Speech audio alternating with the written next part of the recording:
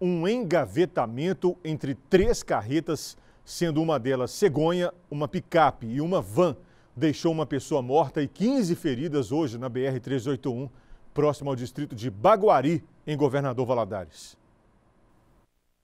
O acidente foi entre três carretas, uma picape e uma van. A tragédia aconteceu no quilômetro 170 da BR-381, em cima de uma ponte próximo ao distrito de Baguari, em Governador Valadares. Este vídeo mostra os profissionais do SAMU retirando o motorista da van que estava preso às ferragens. Ao todo, são 16 vítimas. Três delas foram encaminhadas para o hospital em estado grave. Foram 16 vítimas no total, né? uma vítima fatal que estava na van três vítimas graves, duas da van e uma da Saveiro, né, e o restante da vítima com ferimentos leves. Entendeu? Algumas não foram atendidas e ficaram aqui no local, que é o caso do motorista das duas carreiras. Embora identificada com a tarja amarela, a van escolar não transportava estudantes, mas funcionários de uma empresa que presta serviços de recuperação ambiental. Abalado, o motorista de uma das carretas conta que se deparou com o trânsito lento e precisou desviar de um dos veículos à frente. Neste momento, ele foi atingido. Tinha uma carreta parada em cima da ponte. Logo atrás dessa carreta tinha uma van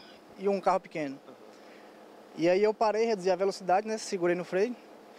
Quando veio essa cegonha, bateu no meu fundo aqui e empurrou. Eu ainda consegui desviar para não bater no fundo deles, do carro. Mas ele ainda bateu e saiu acabando com tudo. Segundo a Polícia Rodoviária Federal, o acidente pode ter sido causado por um caminhão basculante que entrou na pista de forma lenta. Por isso, aquela carreta precisou reduzir a velocidade. Foi então que a van bateu na parte de trás dela e o engavetamento aconteceu. O condutor daquela carreta ainda tentou desviar. Foi aí que a cegonha veio, o atingiu e só parou depois que esmagou este veículo pequeno. Trata-se aqui de um engavetamento, né? Conforme levantamentos no local do acidente, foi possível concluir que um veículo de grande porte teria adentrado a via, vindo de uma via vicinal, é, em baixa velocidade a fila de veículos que seguia pela rodovia viu-se obrigada a todos a diminuírem bruscamente a velocidade. Então, é, um primeiro, uma primeira carreta carregada de gesso conseguiu evitar a colisão traseira com esse veículo que vinha em baixa velocidade, porém, é, uma carreta carregada com bebidas desviou dos veículos à sua frente envolvidos e uma cegonha carregada de automóveis não conseguiu frear, colidiu na traseira da carreta carregada de bebidas, o que fez com que é, a carreta, o, o, o semi-reboque abrisse né, e a bebida fosse derramada sobre a pista. E eu, houve esse engavetamento entre o veículo, entre a cegonha, que imprensou dois, um automóvel e uma van na traseira desse primeiro veículo que conseguiu frear.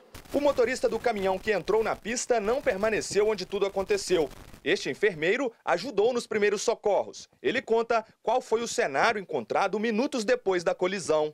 É, eu cheguei aqui por volta de seis e meia, mais ou menos 15 para 7, e me deparei com o trânsito. E vim ver o local, o que estava ocorrido, se precisava de alguma prestação, de algum socorro. E me identifiquei dentro de uma van com três vítimas presas à ferragem um óbito e três com fratura exposta. É, como, como é um, estava presa a ferragem, não podia fazer nenhum procedimento. Então fui para as outras vítimas que estavam sentadas no local com fratura nas pernas, não exposta. Consegui mobilizar algumas, um, um motorista de um veículo estava com fratura na testa, um corte profundo, aproximadamente uns 5 centímetros. Consegui é, é, é, fazer estancar o sangramento com a gazinha e passar uma, uma atadura até esperar o resgate. Entrei em contato com o SAMU e com o bombeiro, imediatamente veio toda a equipe de resgate para cá. As demais vítimas que precisaram de suporte médico foram levadas para o Hospital Municipal de Governador Valadares com lesões leves. A Polícia Civil esteve no local do acidente. O trânsito ficou interditado por quase quatro horas. Segundo a Polícia Rodoviária Federal, a vítima fatal é Paulo Alves de Souza. Ele tinha 56 anos e era um dos passageiros da van. O tráfego na BR-381, na rodovia, flui normalmente.